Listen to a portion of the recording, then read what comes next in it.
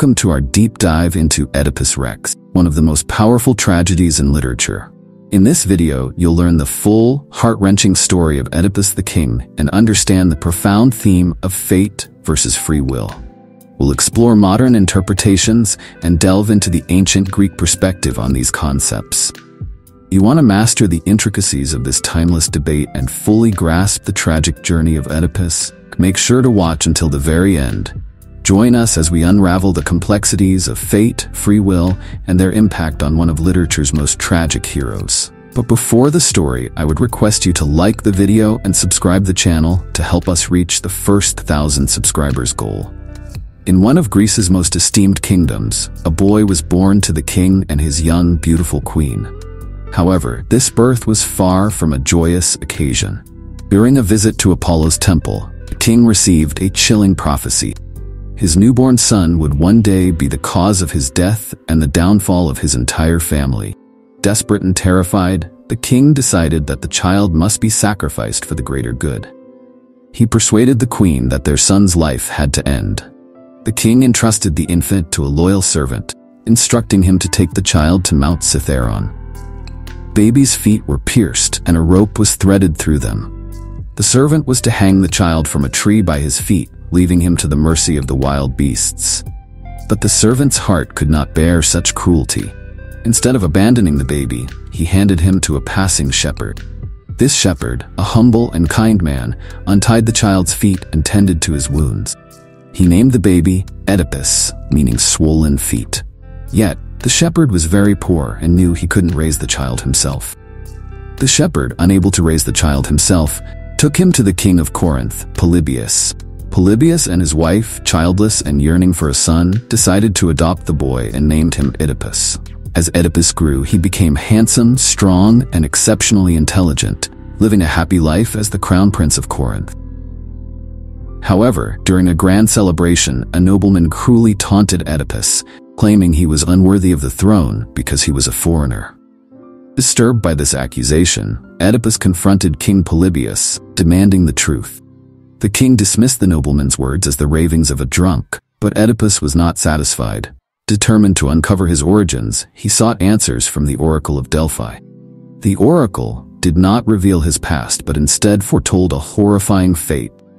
Oedipus would kill his father, marry his mother, and bring shame upon his descendants. Horrified and desperate to avoid this destiny, Oedipus decided to leave Corinth, believing it would save his beloved parents from his cursed fate. Heartbroken and aimless, Oedipus wandered the roads of Greece. At a narrow crossroads, he encountered a lord in a wagon accompanied by his servants. One of the servants aggressively shoved Oedipus off the road to make way for the wagon. Infuriated, Oedipus struck the servant with his cane. The lord and his remaining servants attacked, but Oedipus, driven by a mix of fear and fury, fought them all. His youth and strength prevailed, leaving the lord and his servants dead save for one who fled. Triumphant, Oedipus felt a surge of power. His victory over multiple opponents bolstered his confidence. Continuing his journey, he soon heard of a monstrous creature terrorizing the kingdom of Thebes. Emboldened by his recent success, Oedipus decided to confront the fearsome Sphinx, hoping to add his name to the pantheon of heroes. Decipher me, or I'll devour you. She would then present a riddle, and those who failed to solve it were mercilessly devoured. Thebes, mourning the death of King Laius, was provisionally ruled by Creon, who had lost his own firstborn to the Sphinx. In desperation, Creon declared that whoever could defeat the Sphinx would marry his sister, Jocasta, the widowed queen, and become the king of Thebes.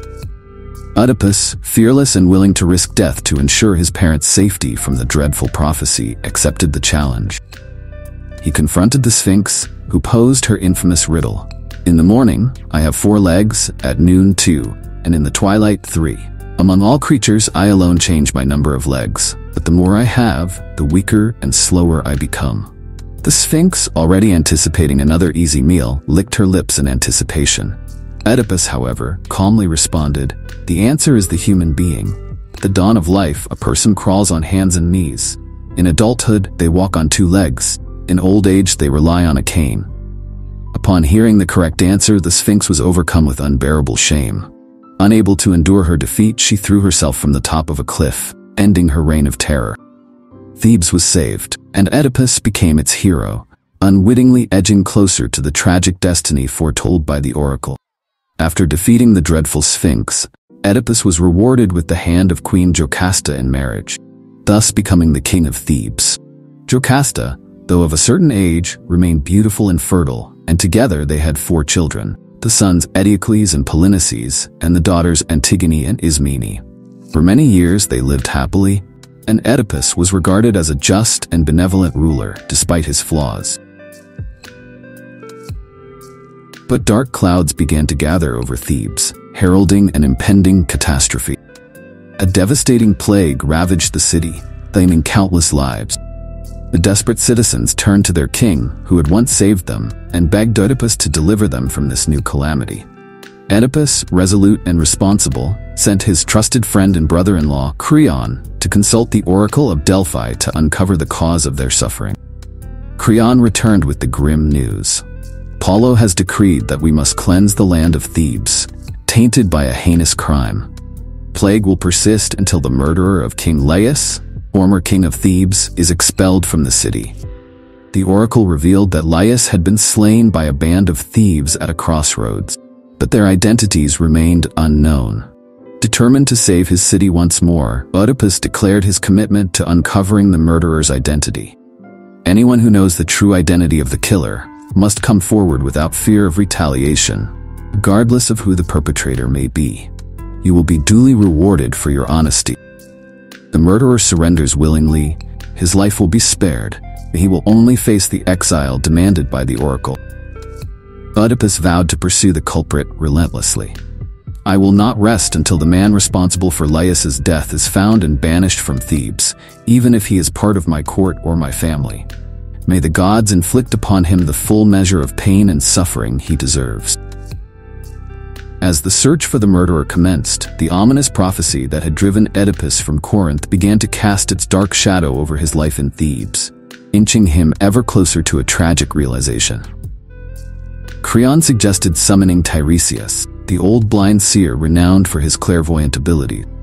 Believing that Tiresias could reveal the murderer, Oedipus eagerly summoned him. When Tiresias arrived, Oedipus implored, Wise elder, your reputation as a clairvoyant precedes you. Help us uncover the identity of Laius's killer. I command you to reveal everything you know.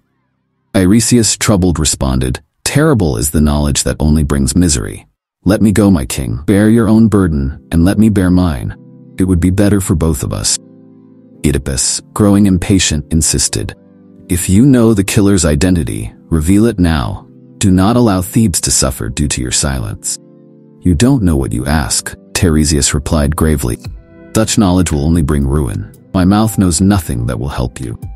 Incensed by what he saw as betrayal, Oedipus accused, How dare you betray the soil that welcomed you? Only a complicit man would withhold such knowledge. Deeply offended, Tiresias finally spoke the truth. You have insisted on seeking your own destruction. Know this, the wicked one who defiles our city is you, king of Thebes. Oedipus, enraged, shouted, Take this madman away, he speaks nonsense. Tiresias, unyielding, replied, You demanded the truth, and now you must endure it. The curse you have summoned will reveal its fruit. What is said is said.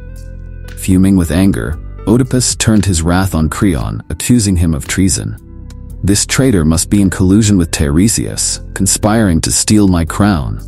Thus, suspicion and paranoia took root in Oedipus's heart, driving a wedge between him and those he once trusted, as the prophecy's shadow loomed ever darker over his life. Why do you impose such burdensome accusations on me so carelessly? Creon retorted, I have always been your friend and helped make you king. I don't desire your crown. Standing by your side, I enjoy all the benefits of royalty without bearing the heavy burdens of kingship. I have never had the ambition to take your throne. Queen Jocasta, witnessing the escalating tension, attempted to calm her husband and brother. However, Creon, deeply offended, walked away in fury. Husband, don't pay heed to that old charlatan's words, Jocasta pleaded. Soothsayers and oracles no longer hold the power they once did. It was prophesied that Laius would be killed by his own son, yet he died when that child was just a baby. At that moment, a messenger from Corinth arrived, bearing news. My lord, I bring sad tidings from Corinth. Your father has passed away. You must return to your beloved city and claim your throne as the rightful heir. Oedipus felt a mix of sorrow and relief. The news is indeed sad, but it also brings me relief. The oracle predicted I would kill my father and marry my mother. It seems their words are no longer to be trusted. The old king of Corinth died without my intervention. But what if my father died of sadness and despair after I left him? Oedipus continued, conflicted. It wouldn't be wise to return to Corinth and risk fulfilling the prophecy by marrying my mother. Do not worry, my king, the messenger reassured him. The queen of Corinth is not your real mother. She simply adopted you. Oedipus, startled, asked, How do you know this secret?